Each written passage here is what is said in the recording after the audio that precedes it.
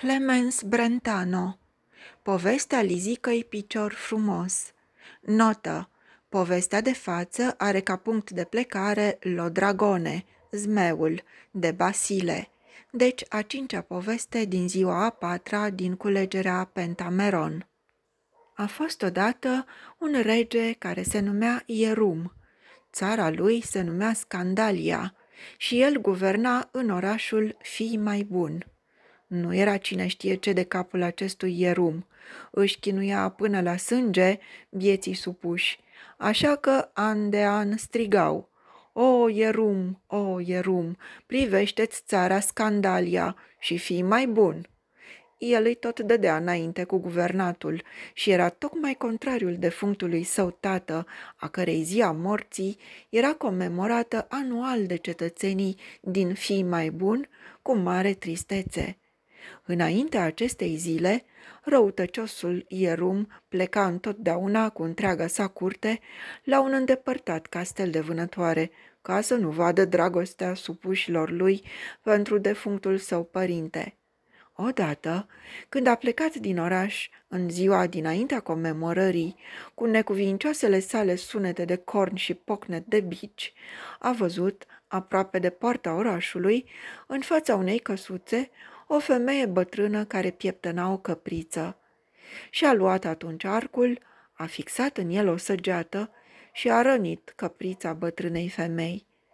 Bătrâna s-a înfuriat cumplit și a strigat după el. O, Ierum! O, Ierum! Ai rănit a mea căpriță! O, Ierum, o, Ierum! Ai să o pățești tu, bădiță! Ea e o biată orfană, va fi regină cu coroană. Ierum nu s-a sinchisit de strigătele bătrânei și a ieșit în galop din oraș. Bătrâna se numea Lizica și era o vrăjitoare excepțional de deșteaptă. La defunctul tată al regelui Ierum, cuvântul ei contase foarte mult. Ea deținuse pe atunci o mare putere și făcuse țării mult bine. Când bătrânul rege avea nevoie de un ministru sau general sau de un învățat, se ducea la Lizica, pe atunci foarte frumoasă, și zicea, Lizică, Lizică, la picior frumușică, nici scurt și nici lung, scutură-mi din șorțul tău cu șvung un bun ministru de stat. Stăpâne, iată, ți l-am și dat, spunea ea atunci și îl scutura din șorț. Așa procura să ia regelui mulți oameni iscusiți. Dar când a ajuns la putere Ierum, Lizica a fost alungată, ba regele a pus chiar câinii de vânătoare să-i rupă o bucată din șorț și o mai maltrata în fel și chip. Lizica s-a mutat atunci într-o căsuță de la Mahala, unde îngrășa vite și păsări și lumea nu se mira decât de faptul că nu vindea niciodată vreun bou sau vreun măgar sau vreun cal sau vreun curcan sau altceva. Adesea însă era auzită noaptea, când era tăcere, cum vorbește cu vitele ei, despre probleme de stat și conversația suna de parcă cei mai mari profesori ar fi fost adunați la ea, așa că ajunsese în oraș un fel de proverb să se spună când unul din curtenii regelui Ierum făcea vreo poznă prostească. Vita asta n-a studiat la Lizica.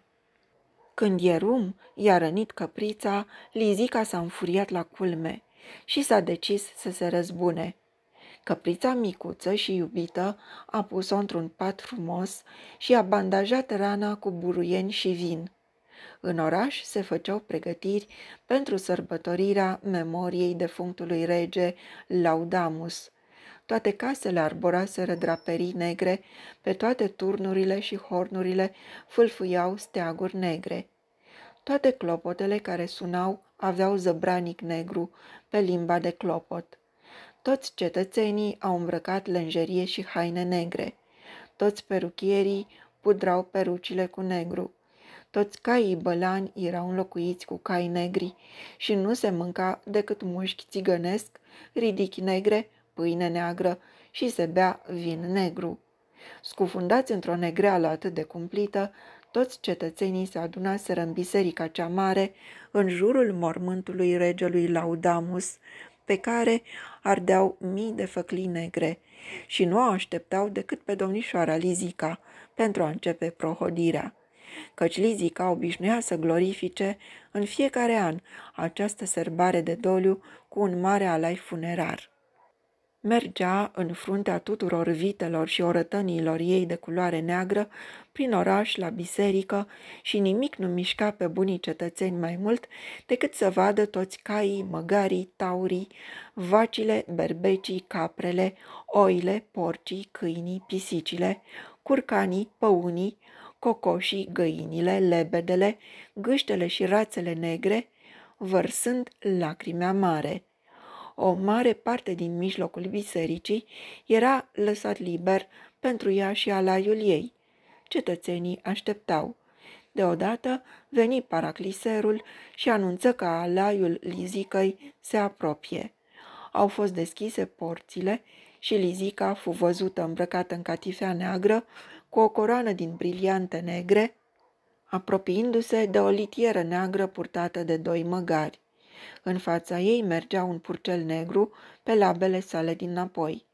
Acesta purta pe un băț, în chip de steag, șorțul lizicăi, care făcuse atâta bine țării și fusese rupt de câinii de vânătoare ai lui Ierum, iar în urma litierei de doliu urmau mulți berbeci și alte capre negre cu banderole de doliu și lămâi înfipte în coarne. După asta veneau toate celelalte animale cu lână, coarne și pene negre, toate cu ramuri de chiparos și coroane. Pe scurt, toată cireada de animale de doliu era împodobită în modul cel mai emoționant și decent și manifesta o tristețe adâncă. Când toți oamenii și toate animalele și-au ocupat locurile, s-a cântat o melodie neagră ca pana corbului și apoi Lizica s-a urcat pe mormântul regelui Laudamus și le-a povestit cetățenilor despre calitățile acestuia, ceea ce i-a făcut pe toți să plângă lacrimi amare, negre ca cerneala. La urmă s-a apucat să vorbească despre răutatea regelui Ierum și a spus – a sosit timpul să închidem partea în fața nasului, căci răutatea sa a crescut la culme. Când a ieșit ieri călare prin poartă cu nelegiuiții săi curteni, stăteam în fața ușii mele și pieptănam buclele negre ale domnișoarei Caprina pentru serbarea de azi. Și atunci, din rea voință, mi-a rănit-o pe iubita orfană cu o lovitură de săgeată.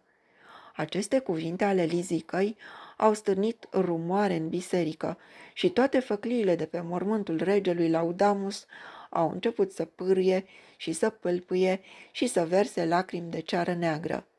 Cel mai în vârstă cetățean al orașului, care își pudrase azi negru de tot părul și barba sa albă, s-a apropiat de Lizica și a spus, O, Lizico, marea ta prietenie cu defunctul Laudamus, priveliștea șorțului tău, steag rupt, din care ne-ai scuturat odinioară atâția oameni de stat demni, viața ta liniștită, strădaniile tale nobile în vederea educării și culturalizării vitelor lipsite de rațiune, ah, tot ce știm despre tine ne face să fim siguri că n-ai putea spune o minciună. Dar spune-ne, te rugăm, cine e domnișoara Caprina? Cine să fie alta, a spus Lizica, decât drăgălașa fiică a decedatului principe de Buxtehude, a cărui țară a fost administrată de prietenul său, defunctul Laudamus, până la majoratul domnișoarei, crescute cu multe alte orfane distinse sub supravegherea mea la Fundația pentru Domnișoare și la Academie. Ah, bunul Laudamus s-a gândit odinioară să-l însoare pe Ierum cu ea, dar dumneavoastră știți că, de îndată ce Ierum, după moartea tatălui său, a devenit rege, a luat pământul tuturor orfanilor, al căror ocrotitor trebuia să fie, și a ordonat domnului Desfrancioc să o trăvească pe toți bieții copii din fundație și de la academie cu un păsat de miei pe care obișnuiau să-l consume anual la serbarea rusalilor pe câmpul măgarilor, unde se distrau dansând și sărind. M-ar fi asasinat și pe mine, dar nu știa cum să-mi vină de hac. Când a fost pregătit totul pentru serbarea din câmpul măgarilor, copiii nevinovați au pornit într-acolo împodobiți cu flori. Păsatul de mei aburea sub un tei mare într-un castron de argint pe care Laudamus îl donase în acest scop. I-am aranjat pe copii în cerc, în genunchi și ei cântau Te regem Laudamus, qui nobis dedit hirsennumus. A sosit atunci domnul Desfrancioc și a adus zahăr și scorțișoară de la Ierum, pe care regele altădată obișnuia să le presare cu propria mână pe plăcintă. De data asta însă era șoriceaică. Când Sfrancioc s-a apropiat de castronul cu păsat, am văzut deodată spiritul defunctului Laudamus ieșindu-i în cale și spunând Dacă Ierum nu vrea să aducă personal copiilor zahăr și scorțișoară, am să o fac eu. Care te de aici zburând, sfrancioncule?" și a dat una șambelanului mai întâi cu punga de zahăr, apoi cu cea de scorțișoară, pe obrazul drept și pe obrazul stâng și ce să vezi, acesta a zburat de acolo transformat într-un veritabil sfrancioc. Apoi regele Laudamus a venit la mine și a spus, Lizică, lizică, la picior frumușică, crește tu acești copii până ce iar oameni vor fi. A presărat în sfârșit el singur zahăr și scorțișoară pe plăcintă și a dispărut. Copiii au văzut toate astea și au cântat Te regem laudamus qui nobis dedit hirsenmus. Notă. Te regem laudamus qui nobis dedit, în limba latină în original. Pe tine, rege, te lăudăm care ne-ai dat păsat de mei. Notă încheiată. Și fiecare și-a băgat apoi lingura de argint în păsatul aburind. Abia înghițiseră însă o lingură plină, că s-au și transformat cu toții în animale. Cei din familia Caprina în căprițe, cei din familia Boureanu în boi, cei din familia Văcaru în vaci, cei din familia Bălănescu în cai bălani, cei din familia Cioroiu în ciori, berbecești în berbeci, curcănești în curcani, găinărești în găini, cocoșești în cocoși și așa, fiecare copil după numele de familie, într-un animal cu același nume. Am condus acum toată cireada în cea mai apropiată pădure, într-o peșteră mare, și m-am întors în oraș. Am auzit atunci că regele Ierum credea că șambelanul său, domnul Desfrancioc, fugise în lumea largă cu copiii în loc să-i omoare și că trimisese soli să-l, să caute. Când m-a întrebat pe mine de copii, i-am spus, domnul o să-i aibă în pază. Mai mult, nu i-am spus nimic. Era furios pe mine și fiindcă nu mă putea ucide, mi-a luat tot ce-mi dăruise la Udamus, așa că nu mi-a rămas nimic decât casa și curtea și grădina părinților mei de lângă poarta orașului. Noaptea am dus din pădure toată cireada metamorfozată în casa mea și până azi le-am predat toate științele potrivite rangului lor. Toți au crescut și fiecare va face cinste familiei din care provine. Ah, mai ales domnișoara Caprina este un adevărat înger. Dansează direct de pe foaia cu note și cântă ca cel mai mare meșter de dans. Țese și brodează ca o bucătăreasă perfectă și gătește și coace ca cea mai perfectă brodeză. Face poezii ca un lingvist și vorbește toate limbile ca un poet. Pe scurt, e una dintre cele mai perfecte domnișoare din lume. Și ei i s-a străpuns crudul și ei i-a străpuns crudul ierum lobul urechii stângi cu o săgeată. Nu, să nu mai suportăm asemenea rușine. Dați altuia coroana, căci ierum oricum nu se gândește decât la poftele sale desfrânate și niciodată la îndemnul fii mai bun. Așa a grăit Lizica și toți au ascultat-o cu cea mai mare atenție, iar cel mai în vârstă cetățean a zis – ne spui lucruri foarte ciudate, dar chiar dacă alegem alt rege de unde să luăm de îndată toți miniștrii și curtenii de care avem nevoie în locul celor cu care a plecat Ierum, șorțul din care i-ai scuturat altădată are o gaură și vor cădea prin ea. Lizica s-a îndreptat spre câinele pudel care purta șorțul steag și a spus, Domnule, nu mă mușca, flutură steagul așa, vivat laudeamus să răsune în avântată efuziune. Și câinele a scuturat steagul și s-a transformat pe loc în cel mai frumos stegar. și toate animalele de față cu coarne, lână și pene s-au schimbat în cei mai promițători cavaleri și cele mai frumoase domnișoare. Și ea a deschis litiera din care a ieșit domnișoara Caprina cu lobul urechii rănit și a îmbrățișat-o pe Lizica, iar toți cavalerii și domnișoarele transformate au strigat cu voce tare. Oremus laudamus, Lizica, Lizica, la picior frumușica. Ea ne va guverna, bucurie ne va da. Și toată adunarea a strigat la fel și au luat-o pe Lizica, au pus-o în litieră, au dus-o la palat și totul a fost tocmai cum trebuia. Ea avea să fie regină. Lizica însă a făcut din toți elevii ei notabili. Domnul de Boureanu a devenit ministru al agriculturii. Domnul de Văcaru, mareșal al fânului. Domnul de Măgărilă, consilier general al morilor domnul de Cocoșescu, director al pompierilor și ministru al meteorologiei aulice. Și așa fiecare își avea locul după calitățile sale. Prințesa Caprina însă era unanim adorată și s-a făcut cunoscut că cine va deveni soț va căpăta nu numai ducatul Buxtehude, ci odată și odată tot regatul Scandalia. Toate mergeau minunat în oraș, în schimb regele Ierum a tras o spaimă grozavă când Lizica l-a vestit printr-o scrisoare trimisă la castelul său de vânătoare că e detronat și că nu mai are voie să se arate în rezidență, căci altfel își va pierde capul. Dacă însă vrea să-și schimbe felul de a se comporta, să restituie văduvelor și orfanilor ce era al lor și să se întoarcă plin de căință în orașul fii mai bun, atunci să ia mai întâi o soție blândă și nevinovată cea mai potrivită fiind, bineînțeles, prințesa Caprina de Buxtehude. Apoi se va vedea dacă ar putea fi făcut din nou rege.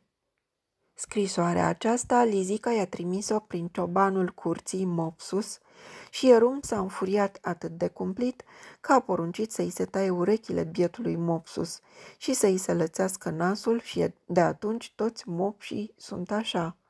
Regele Ierum care locuia acum în castelul său de vânătoare, aproape că a turbat, a pustit toată țara din jur de furie și a comis mii de fapte nelegiuite. În curând însă a început să-i meargă prost. Curtenii săi l-au părăsit și banii i s-au topit. Nu mai avea decât țărișoara Buxtehude, care aparținea de fapt domnișoarei Caprina, dar pe care o ținea tot ocupată. Vieții locuitori ai țărișoarei erau exploatați la sânge, pentru ca el să-și poată continua viața destrăbălată. Mai aveau doar puțini servitori și sfetnicul său era un idol mare de lemn care stătea lângă castel sub un copac uscat și se numea Pumperlirio. Notă. De la verbul pumpen, a se împrumuta, a pompa, notă încheiată. Acesta răspundea afirma, afirmativ la toate întrebările. Dacă în fața lui era sacrificat un om și era stropit cu sângele acestuia, Ierum a făcut cunoscut acum că vrea să devină mai bun și să ia o soție blândă și nevinovată. A chemat fiicele supușilor săi și s-a căsătorit cu una din ele. Dar noaptea a târât-o în fața idolului Pumperlirio, a ucis-o și l-a întrebat. Pumpelirio, țap de lemn, spune-mi iute printr-un semn, când anume Lizica, la picior frumușica, va fi moartă, în orașul fi mai bun, o îi reintra pe poartă? Pompelirio a început să trosnească în tocmai ca lemnul umed în sobă și a vorbit cu voce hârită. Lizica oarbă, caprinus, pruncul, repede ca vântul, fi mai bun câștigă. Ierum n-a înțeles ce vor să zică aceste cuvinte. A cerut explicație, dar Pumpelirio a spus, pentru un omor, cuvântul slujitor. Și mâine e o zi spre a omorâ. A doua zi dimineața Ierum a zis că și-a trimis acasă mireasa, căci n-a găsit-o destul de blândă și supusă. A ales altă fecioară, s-a căsătorit cu ea și a ucis-o și pe aceasta în fața lui Pumpelirio și apoi l-a întrebat din nou. Idolul însă spunea mereu aceleași lucruri și Ierum ucidea o domnișoară după alta, până ce aceștia, acestea și-au dat seama de cruzimea lui și au fugit. Când oamenii buni din Buxtehude au auzit că domnișoara Caprina trăiește la Lizica, S-au dus mulți la fi mai bun să o vadă pe fiica iubita defunctului lor principe. I-au sărutat mâinile și picioarele, i s-au plâns povestindu-i în ce mizerie i-a scufundat Ierum și au zis că n-au dorință mai mare decât că ea să vină acasă și să-i guverneze. Caprina a plâns amarnic din cauza nenorocirii supușilor ei și le-a promis că se va gândi împreună cu Lizica ce să facă, iar bunii oameni au plecat din nou. Tocmai când domnișoara Caprina voia să vorbească cu Lizica în problema asta, sosi un soi, un sol de la regele Ierum, care a transmis că dacă domnișoara Caprina acceptă să fie soția sa, va deveni mai bun. Caprina a consimțit, doar de putea să-și consoleze supușii, și Lizica i-a spus cu lacrimi amare, nu te pot reține, străduiește-te să-l faci bun pe Ierum. Dacă ai să o ceri tu, îi dau înapoi coroana. Du-te, scumpa mea Caprina, fă bine la tot ce viețuiește și n-ai să pieri în nevoi. Caprina, Caprina, jalea e mare, ochii sunt roșii de lăcrimare. Caprinus, Caprinus, pruncul bun, o face pe Lizica orbi, Caprinus, Caprina, Caprinum, de vom orbi, cu toții vom muri. Uită-te în jur, te rog, atentă fi. S-au îmbrățișat apoi și au plâns amândouă amarnic, iar Caprina a plecat cu solul la regele Ierum. Lizica însă stătea în turnul palatului și o vedea pe draga ei Caprina mergând în rochia ei albă de mireasă peste câmpiile verzi și ori de câte ori Caprina se uita în urma ei spre fi mai bun și făcea semn cu batista ei albă și ștergea ochii, stegarul nu mă mușca trebuia să facă semn cu steagul negru, făcut din șorțul rupt, în timp ce Lizica cânta mereu. Caprina, Caprina, jalea e mare, ochii sunt roșii de lăcrimare. Caprinus, Caprinus, pruncul bun, o face pe Lizica orbi. Caprinus, Caprina, Caprinum, de vom morbi, cu toții vom muri. Uită-te în jur, te rog, atentă fi. Și trompetiștii din turn cântau drept acompaniament o melodie tristă de tot din trompetele lor și asta a durat până ce o pădure a ascuns-o pe Caprina și pe solul lui Ierum. Caprina mergea tristă lângă sol prin pădure și se tot gândea ce semnificație poate avea cântecul Lizicăi, dar nu-l înțelegea deloc. Deodată a auzit o pasăre țipând jalnic și a văzut-o fâlfâind speriată în jurul unui copac. S-a uitat bine și a zărit un dihor mare care se cățăra pe copac și se apropiase de cuibul păsării ca să-i mănânce puii. Caprina a luat o piatră și a aruncat-o atât de dibaci după dihor că acesta a căzut mort din copac. Ce bucurie pe pasăre! Întâi a zburat la pui și când a văzut că sunt bine cu toții, a zburat în jurul capului caprinei și în fața ei din copac în copac și făcea cele mai înduioșătoare mișcări, de parcă ar fi vrut să-i spună mulțumesc și cânta în fel și chip până ce a părăsit seara, după ce Caprina i-a mai dat pentru puii ei o bucățică din cozonacul de drum, primind de la Lizica. Drumul se făcea acum tot mai trist și mai pustiu. Colibe arse și grădini distruse se înșiruiau lângă calea lor, iar în depărtare a auzit un cântec trist care i-a împovărat inima. Departe se vedea apunând soarele roșu de tot și o prăpastie sălbatică și neagră, plină de aburi și cețuri. Aici colo se afla și un copac uscat de pe care bufnițele strigau. Hu-hu, vai, hu-hu, vai! Inima caprinei s-a făcut tot mai grea și l-a întrebat pe sol, care până atunci pășise mut lângă ea. Inima mi se frânge în piept. Mai e mult de mers? Spune drept. Solul a răspuns. În prăpastie suntem la locul căutat. Tu la ăst copac ai de așteptat. Lângă Pumpelirio, fiorosul butuc, supune-te, așa o dorește Ierum. Așează-te pe lespezile din drum, mirele eu am să ți-l aduc. A părăsit-o atunci pe Caprina sub un copac mare și uscat, lângă care, înfipt într-o stâncă, se afla idolul Pumpelirio și a coborât în prăpastie. Caprinei îi era grozav de frică. Noaptea a venit, bufnițele țipau în copacul uscat, luna a răsărit sângerie din dosul lui Pumpelirio. Caprina era foarte obosită. S-a așezat în iarbă și a început să plângă amarnic. Și din nou a auzit cântecul trist, care se apropia tot mai mult prin ceață, până ce au apărut mai multe fecioare albe. Aveau coronițe de mireasă și erau toate palide. În piept fiecare avea un cuțit, iar sângele curgea pe rochile lor ca zăpada. Pășeau peste vârfurile ierbii, de parcă ar fi fost din aer, și cântau cu voce suavă. Fii binevenită, mireasa lui Ierum, cuțit în inimă înseamnă conubium. Vai, fără datină, fără prohod, curând în zăpadă și în glod vor zacea tale oscioare, la lună și soare, în copaci corbi or țipa croncănit. Vai, de-am fi fost îngropate cinstit. Caprina era aproape moartă de spaimă și smulgea de groază iarba din pământ. Deodată una dintre fecioarele albe a strigat. Vai, vai, de ce calci pe inima mea, mâine aceeași durere și tu vei îndura. Caprina a sărit atunci în picioare și a vrut să fugă, s-a poticnit însă de o colină și a căzut. Acum altă fecioară a strigat.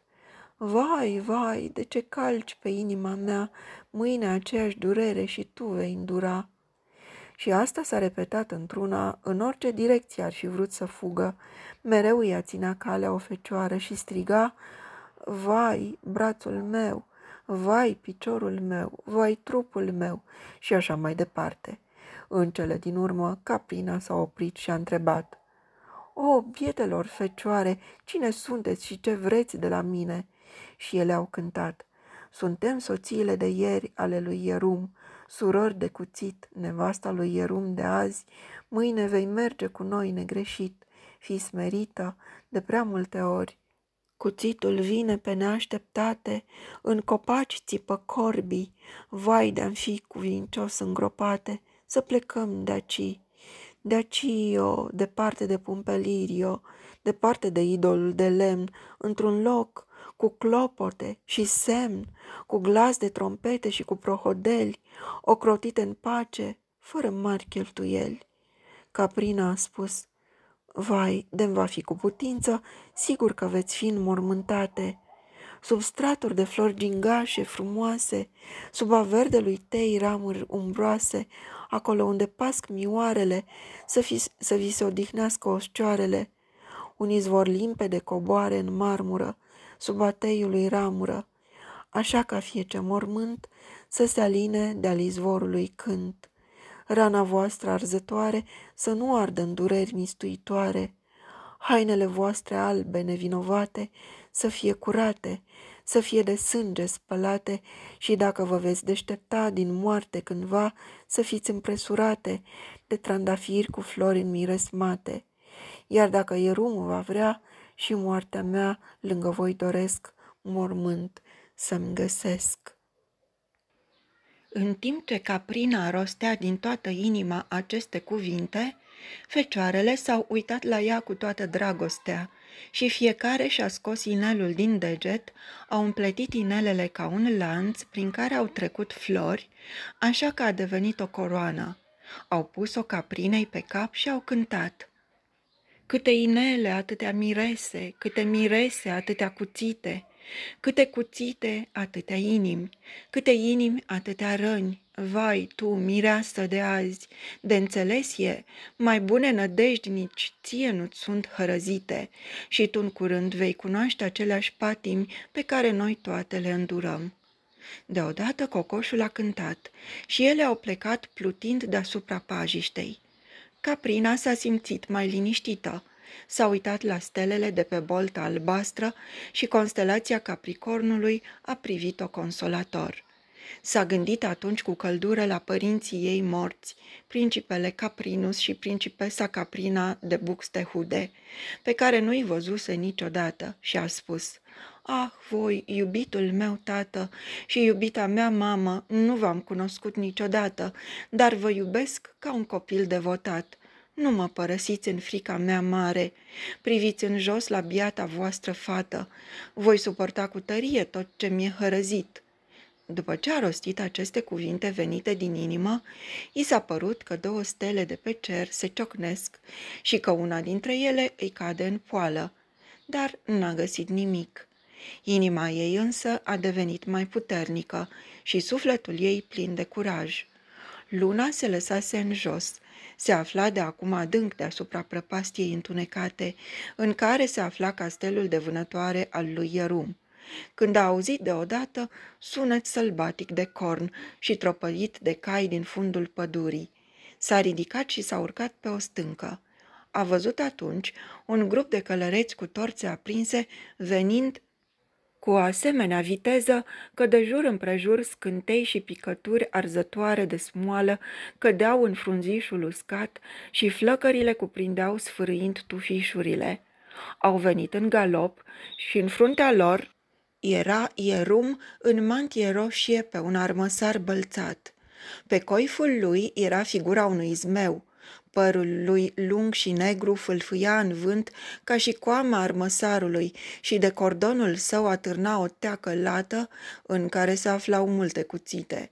Cântau un cântec care suna precum urmează. Iu, iu, iu, peste câmpie cincizeci de cuțite din teacă ieșite. Așa călărește ierum pe-al nunții drum. Mireasă, ridică-ți capul în sus, la nuntă vei fi dusă. Oricât de îngrozitor suna cântecul, Caprina nu s-a mai speriat.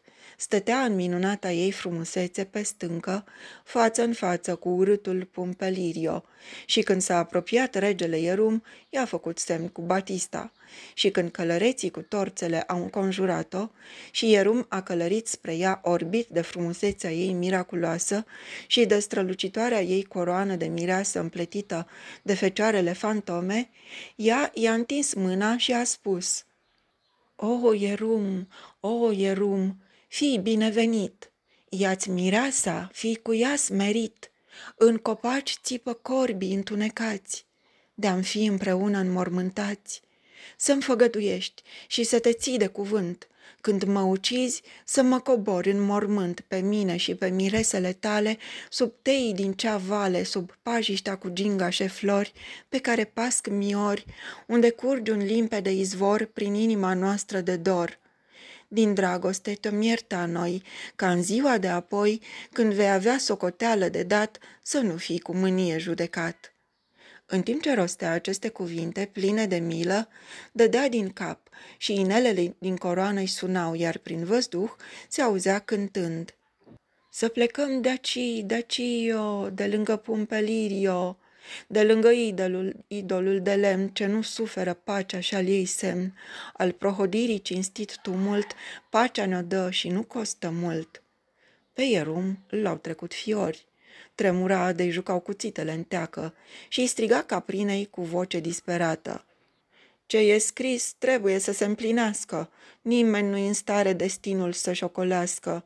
N-aș vrea să fie așa, totuși mă supun. Vai, sărman e rum nebun!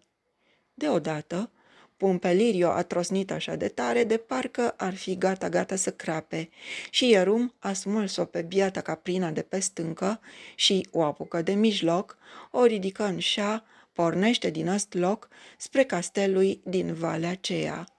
De mai multe săptămâni, Caprina era soția lui Ierum cel rău și era atât de bună și evlavioasă, atât de frumoasă și blândă, că acesta a devenit melancolic de tot și a început să se gândească la viața lui stricată. Mereu se gândea la orașul său fi mai bun și Caprina vorbea și ea despre fi mai bun, dar lui îi era rușine să se întoarcă umilit la locul unde fusese un stăpân îndrăzneț. Adesea îl apuca mânia și furia și umbla călare prin țară, făcând mult rău.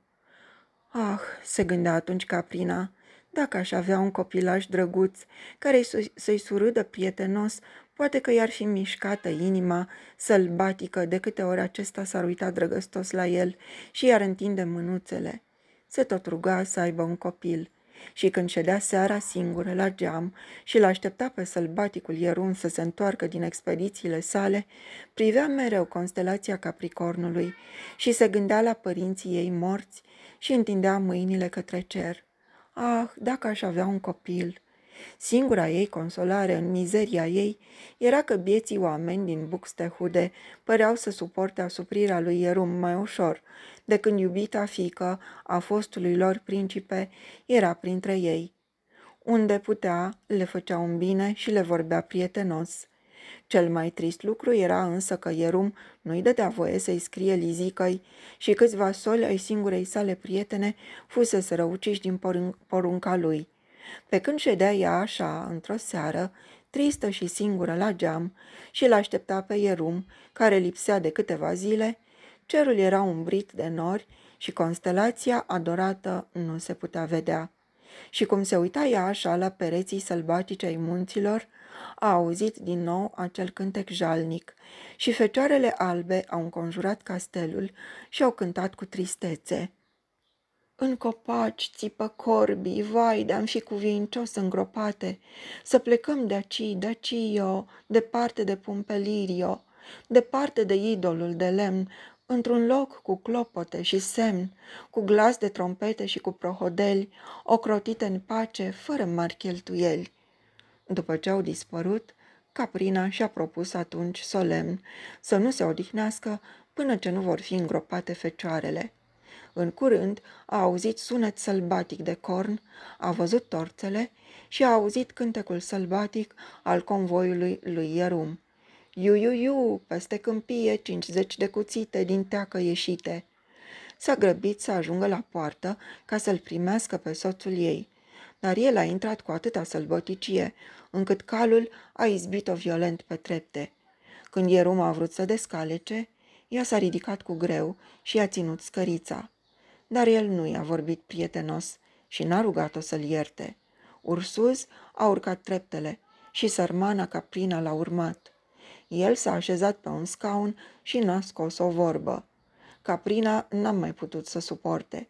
S-a aruncat în genunchi în fața lui și a spus plângând. Ah, soțul meu, cu ce ți-am păcătuit?" El n-a răspuns. O, nenorocita de mine!" a strigat. M-am bucurat așa de mult la gândul întoarcerii tale și am vrut să te rog din inimă să înmormântezi ale tale mirese sub a verdelui tăi ramuri umbroase. Mai mult n-a putut să spună din cauza lacrimilor și a pus capul pe genunchii lui și când inelele din corana ei au început să sune, Ierum a tremurat din tot trupul. Deodată a pus mâna pe urechea ei și a țipat cu spaimă. Vai, vai, e adevărat, e adevărat. Și tu vei face parte dintre-a lor ceată, sărmană Caprina. Vei fi împușcată. Amar mie, Ierum, biet bărbat. Ce ai, dragă Ierum?" a spus Caprina, că vorbește atât de trist. El a răspuns, nimic, soția mea, dar scoală-te să mergem pe loc, acolo unde urmează să fie îngropate fetele. Am găsit un luminiș de tei și vreau să ți-l arăt. Asta a spus-o cu atâta răceală, încât Caprina a tremurat și a grăit. Ah, Ierum, dacă mă mai iubești, nu acum, nu acum, sub aste poveri cerești. El însă a zis, să pornim, să pornim, sub cerul înnorat, spre a ne întâlni cu morții, nu mai e de așteptat. A tras-o atunci afară din castel și a mers cu ea pe drumul care ducea spre Pumpelirio și i a zis, Ah, Hierum, nu văd niciun crâng de tei, pe acest drum pașii îmi sunt tot mai grei.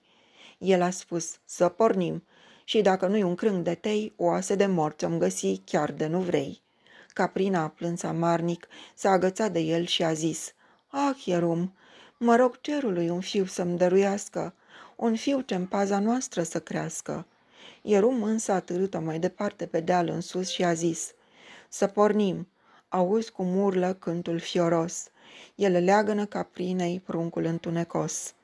Când au ajuns sus, luna a răsărit roșie ca sângele și caprina a grăit. Ah, Ierum, de sânge roșie luna! Ah, Ierum, nu mă ucide chiar acum!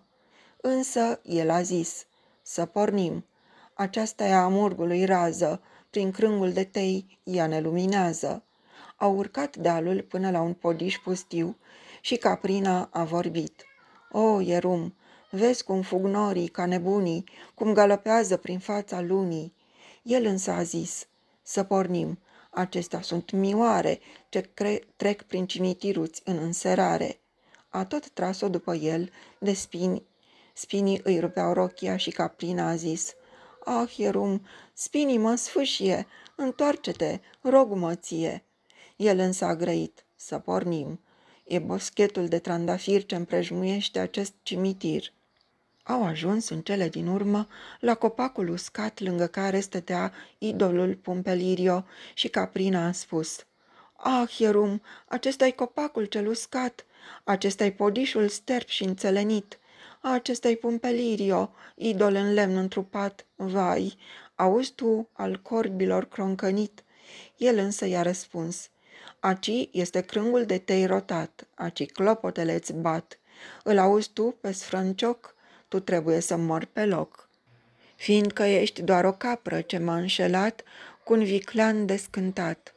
În orașul fi mai bun, la poarta veche, cu săgeata te-am rănit la ureche, Cicatricea am simțit-o de fiece dat când cu buclele tale m-am jucat și acum trebuie să te ucid ca jurământul lizicăi să-l rup să-l desfid, grăbește-te!" strigă sfranciocul, fi gata, ți-a sosit sorocul. Caprina a căzut în genunchi și Ierum a scos unul din cele cincizeci de cuțite ale sale și a început să-l ascută. Când Caprina a ridicat mâinile spre cer și s-a rugat, a zărit deodată apărând capricornul, scânteind din nou ca prima dată când fusese aci și iarăși i-a căzut o stea în poală. S-a simțit pe loc, consolată în chip miraculos. S-a ridicat și a vorbit.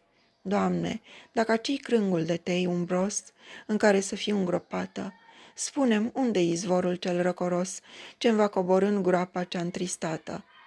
Ierum a răspuns, din pieptul ți el va răsări când cu cuțitul te lovi.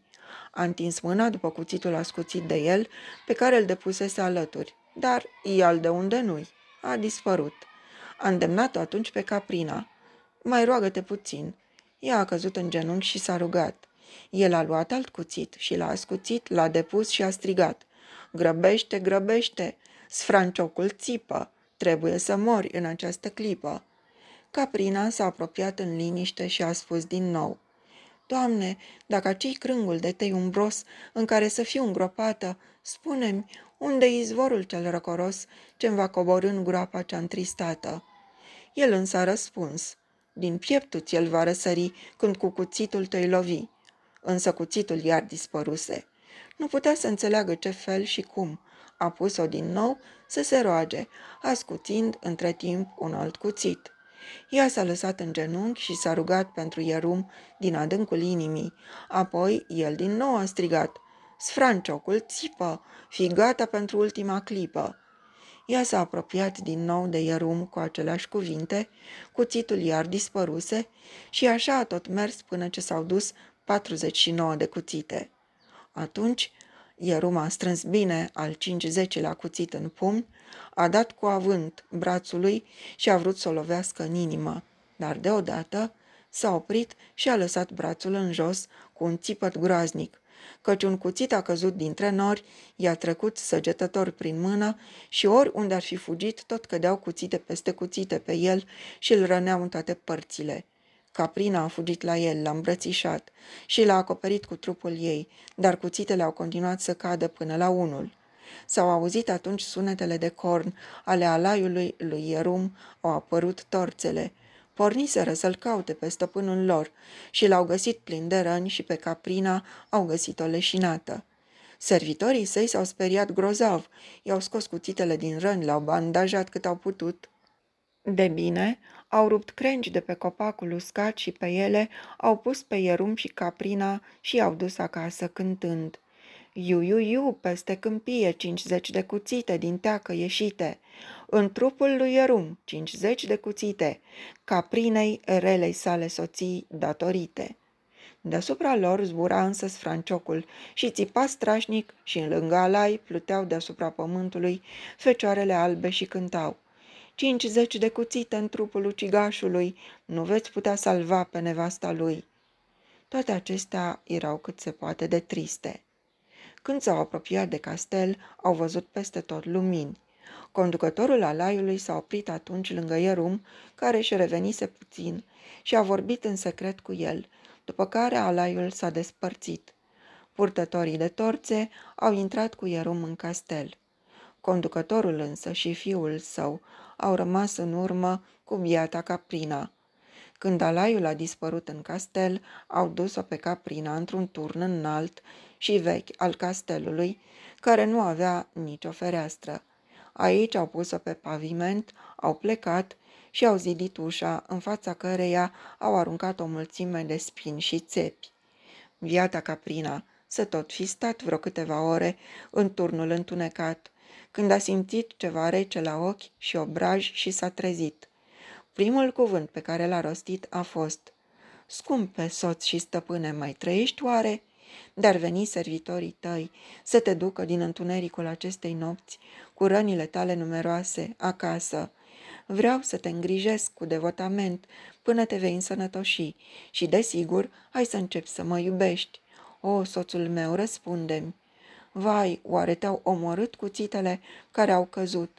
Oare n-am putut să te ocrotesc cu trupul meu? Deoarece biata Caprina, care se mai credea în locul acela îngrozitor, lângă Pumpelirio cel rău, nu primea niciun răspuns, s-a ridicat și a început să bâșbuie ca să găsească cadavrul soțului ei, dar cât de tare s-a speriat când s-a simțit închisă între ziduri reci. Vai, vai!" a strigat. Unde sunt? Ce se întâmplă cu mine?" Vai, vai, cât de singură sunt! În jur îmi totul de piatră, cer și pământ, nici lună, nici stele sclipind, nici salutul unei boare de vânt, nici al păsării cânt. Vai, vai, cât de singură sunt! O voce i-a răspuns atunci pe un ton prietenos. Nu te speria, dragă Caprina, sunt aici. Nu-ți amintește pasărea căreia i-ai salvat puii de dihor cu o lovitură de piatră și căreia i-ai dat cozonac când ai mers prin pădure?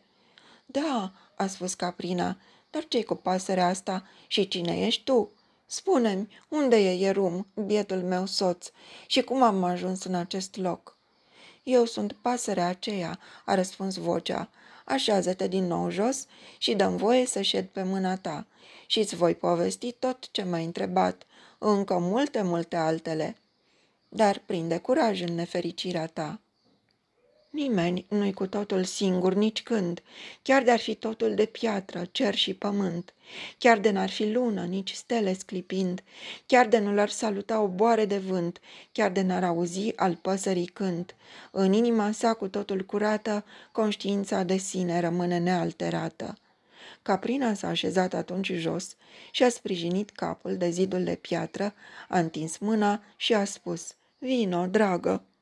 Pasăre, Așează-te pe mâna mea. O să am curaj, fie mizeria mea oricât de mare. Pasărea a zburat pe mâna întinsă, care a apropiat-o de obraz, a lipit-o de el, iar pasărea i l-a mângâiat dulce-dulce cu aripioarele.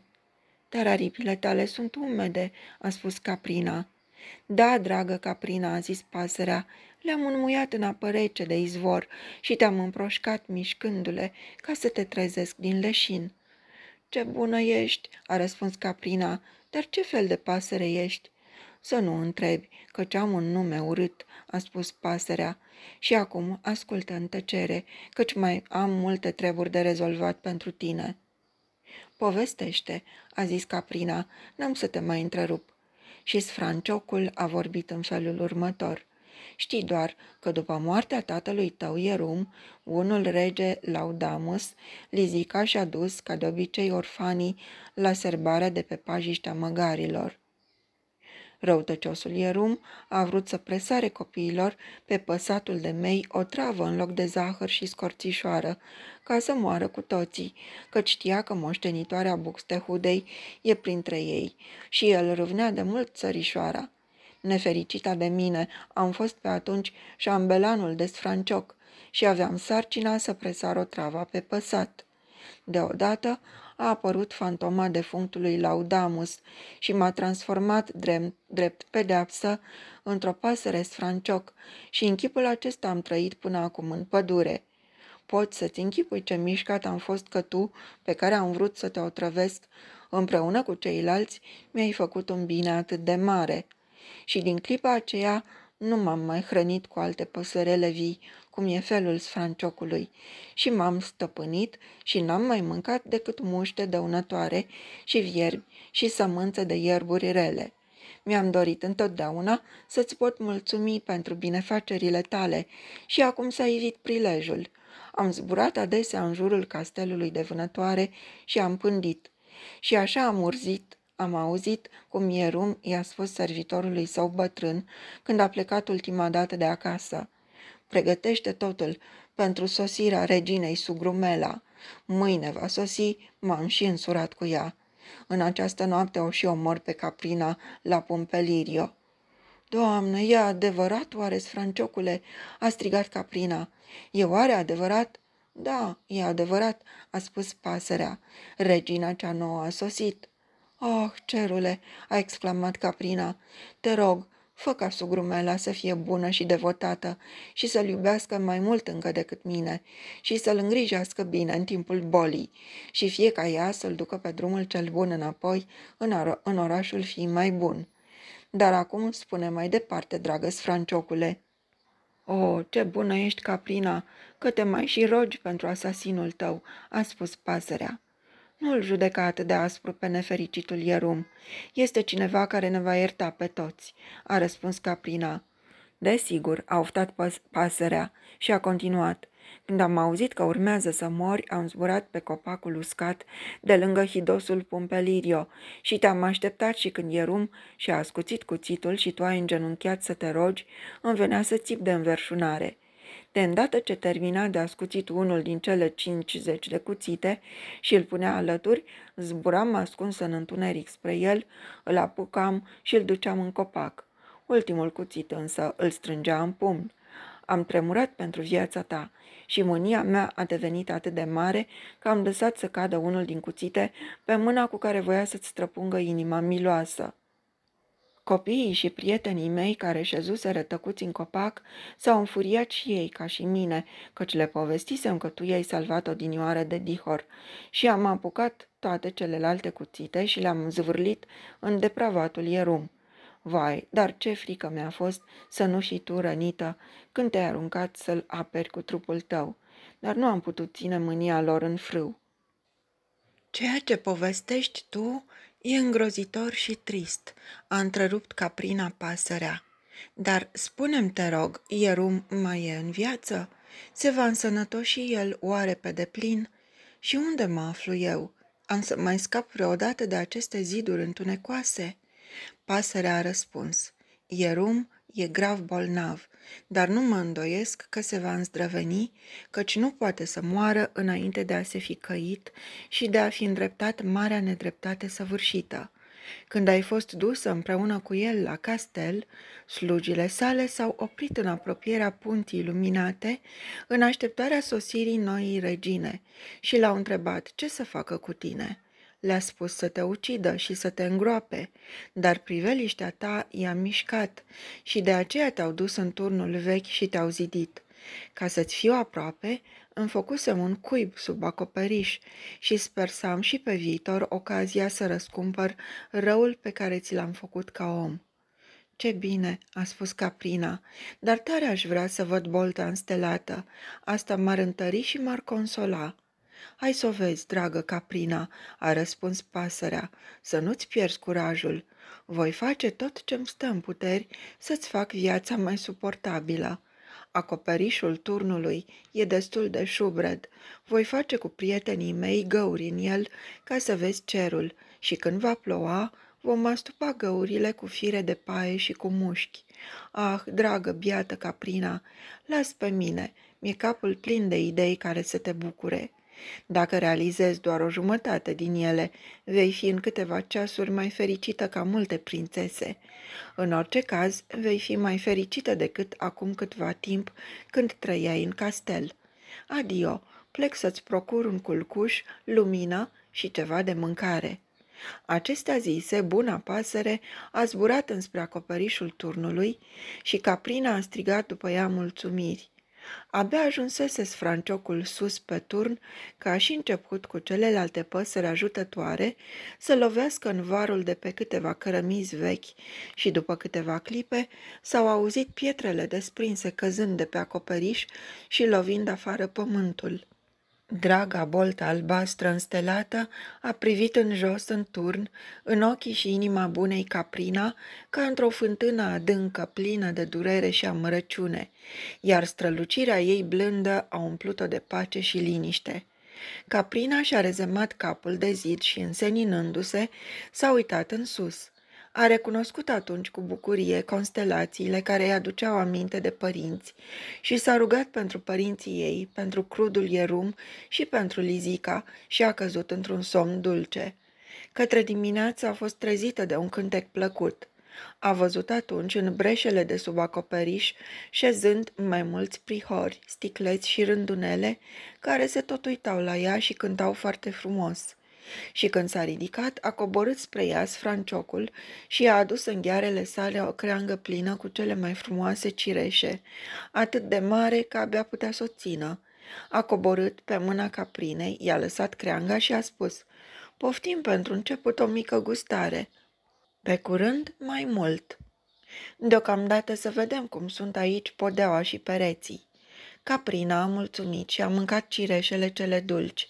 Apoi au trecut în revizie toată încăperea. Turnul era de proporțiile unei camere mici, dar pereții erau din piatră aspră și când i-a pipăit, a găsit că într-o parte sunt calzi. Pasărea a spus, da, da, știu de ce, alături e bucătăria castelului și soba e chiar lângă perete. Ai dreptate, a spus Caprina, acum îmi aduc aminte. Dar îmi mai vine ceva în gând. Prin bucătărie curge un pârâiaș exact sub sobă. Oare nu curge și sub turn?